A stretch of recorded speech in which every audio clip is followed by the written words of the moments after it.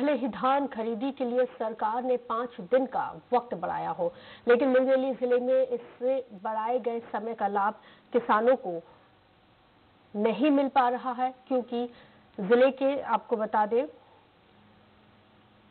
कई उपार्जन केंद्रों में से दो दर्जन से ज़्यादा धान खरीदी केंद्रों में बारदाने की कमी है, उठाव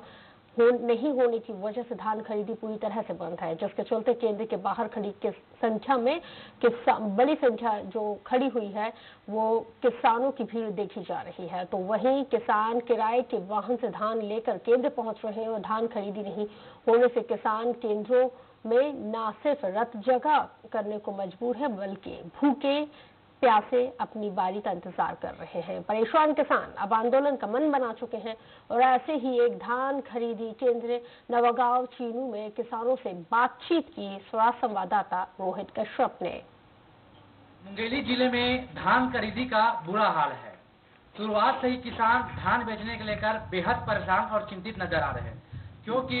शासन द्वारा तय तय जो तिथि थी निर्धारित समय पचहत्तर दिन का, उसमें से तीस दिन धान खरीदी इस वजह से नहीं हो पाई, क्योंकि किसी दिन बार दाना नहीं थी तो कभी बारिश तो कभी उठाव हो नहीं होने की वजह से धान खरीदी पूरी तरीके से प्रभावित रही है। अभी सरकार ने भले ही पाँच दिन का जो समय बढ़ाया धान खरीदने के लिए, लेकिन मुंगेली ज़िले के अधिकतर धान खरीदी केंद्रों में इन पाँच दिनों में एक भी धान खरीदी नहीं हुई है, क्योंकि कहीं धान का उठाव नहीं हुआ है और कहीं बारदाना नहीं है जिसके चलते धान खरीदी पूरी तक, पूरी तरीके से बंद है और किसान किराए के ट्रैक्टर और वहाँ से धान लेकर लगातार धान खरीदी केंद्रों में पहुँच रहे हैं लेकिन धान नहीं खरीदने के कारण वापस लौट जा रहे हैं। कई तो रात यहीं बिता रहे हैं। देख सकते हैं किस तरीके से किसान यहाँ पास परेशान है। ये किसान सिर्फ़ नवागांव चिन्नू के किसान परेशान नहीं है बल्कि मुंगेली ज़िले के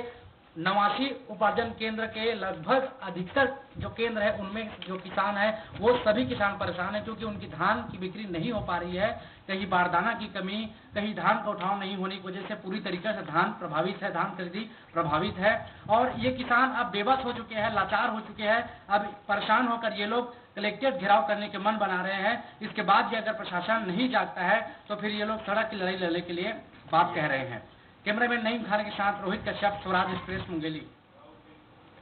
इंदौर के